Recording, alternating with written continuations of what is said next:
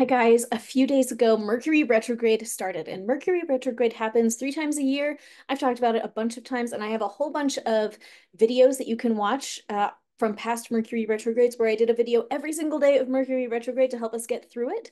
And I guess I'm kind of doing that with this series right here, right now.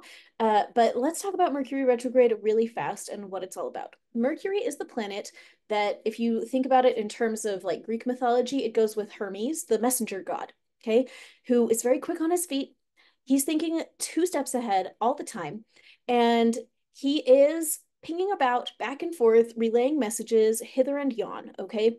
Mercury is the planet that is all about that. It is about messages. Wow. Messages, being a messenger, conversations. It's about thinking. It's about thinking ahead. Um, and Mercury retrograde is when we get the backwards of that, okay? And so it's the time where we're not just thinking ahead, we're thinking behind. It's the time to re everything, review, rethink, reevaluate, okay? We're we're taking a look at the past where Mercury is usually focused on the future or or at least the present and like it's thinking ahead.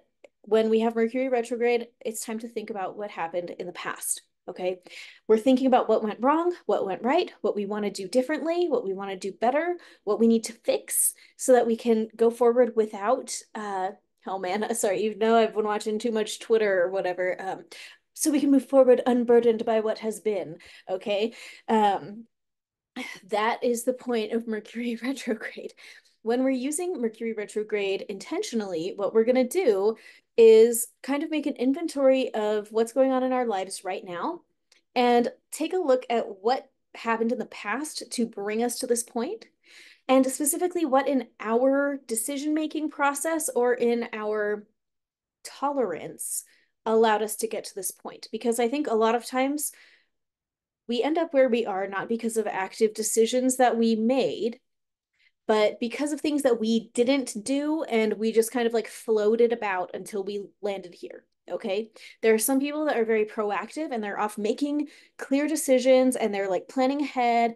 And you know if you're that kind of person then you look back at where where did my decisions go wrong? What decision should i have made a little differently? If you are more the sort that kind of floats about through life and now here you are and it wasn't necessarily that you woke up and you were like, oh, I want to have this life right now. It this the life right now is just the natural consequence of floating about all the way down the river.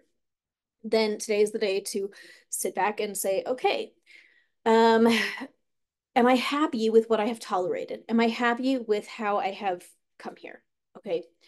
Well, the more conscious that we can become of it and start changing our thought processes and we start changing how we're thinking about our lives and the choices that we're making, we start to make new choices. If you're not thrilled about where you are right now, um, today's a great day to ask yourself, what could I do differently? You know, what do I need to do to make things right from a choice I made previously? Um, what do I need to do to change course now? And I really do believe that it's always possible to change course it is always possible. And in the moment, it feels, it can feel very um, depressing and horrible. I'm thinking of my apple tree, okay, in my backyard. And we planted this apple tree. It's like such a long story, but I was planning to buy like a more mature apple tree and that costs more money, like maybe a couple hundred dollars apple tree, and put it in. And I had somebody say they wanted to gift me one. And so they gifted me a $49, like super not mature one from Costco. And then I wanted it facing in this particular direction. I wanted it with the Honeycrisp facing me. And instead, the Honeycrisp is facing the fence and it doesn't grow. I don't know why. But, anyways, my apple tree's a mess.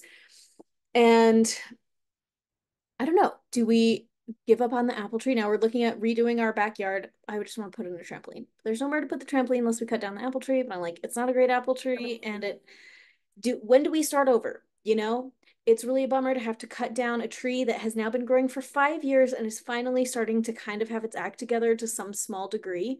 Um, what happens when we start over? You know, um, but the thing is that it's possible to start over. There, there are very few things in life that is completely impossible to to try again or to start over or to do differently. And yeah, a lot of the times when we have to do that, we have to say goodbye to some big stuff.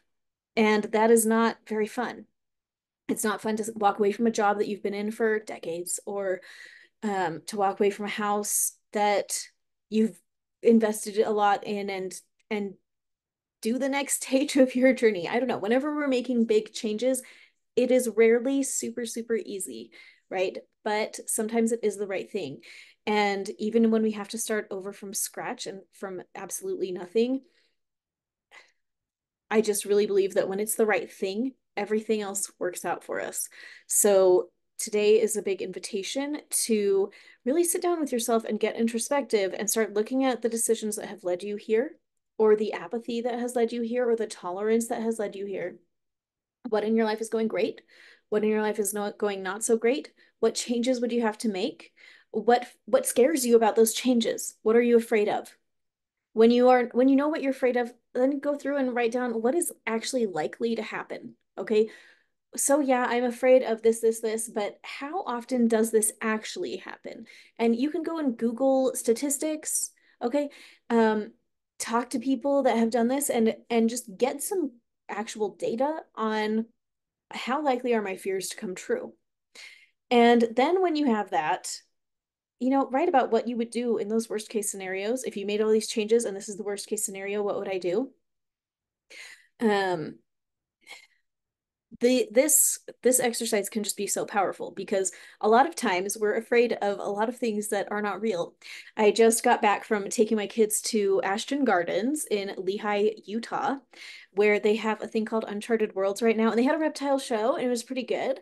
I really liked it, and the reptile show guy uh, has a degree in psychology and is a reptile guide. He's been doing this forever. And at the end, he said, Okay, everybody, we need to talk about this you know, how often do people get snake bites? And you walk through, there's like 8,000 snake bites a year, five fatalities, and also something like 80% of people that get bit by snakes are drunk at the time. And 90% of snake bites are on the hand because they're actively trying to grab the snake's head. Um, he's like, don't be drunk. Don't try to grab a venomous snake's head. But if you do, you'll probably live. And he said, um, you know, if he said, I have a degree in psychology, and if you are scared of animals, then I need you to come and talk to me after this presentation because the fact is that most animals are not dangerous, and I would hate for you to live your life terrified of something that doesn't even exist. And I loved that. Yes, we are we all live our lives terrified of things that don't even exist. I fully include myself in that statistic. So many of the things that I have felt scared of in my life aren't even real. they're not even real. You know, these are figments of my own imagination, right? And how much of what you are afraid of is actually a figment of your imagination? It hasn't happened. The chances of it happening are super slim, and yet you are still afraid. It's time to break out of that because why why should we live in fear over things that aren't even real? It doesn't even make sense. So today is the day I invite you to harness this power of Mercury retrograde and dig into that and start clearing it out. What are you afraid of? What is the worst case scenario? How would you handle it? dig into it. Even though it is scary, you will find so much freedom on the other side of that. And of course, at the end of it, we take it all back to our creator and say, okay, God, give me any additional insights. You know, I did the hard work of using my brain and researching and and working through what I think would happen. God, what other insights do you have for me about the changes that I would make right now? There we go. That that's where the magic happens. So the whole point of this challenge was to help us uh, make some huge shifts in our lives. And I'm really hopeful that uh, that you're feeling like you're having big shifts. Um, I'm hopeful that this exercise in particular will help you have some big shifts. And uh, let me see, 13, 14, 15. Today should be day 15. And I think I have a live session scheduled for this exact challenge today. So go ahead and check that link below if you want to have like a whole hour with me live um, recording this session just about this kind of issue. Show up. It is worth it. And we're going to have a good time. Okay. Um, there you have it, guys. I hope you have a good day you can work through your fears and you can move ahead. You can say goodbye to things that you have um, built up over a long period of time, and you don't have to be invested in those things forever. Okay, I'll talk to you tomorrow. Bye.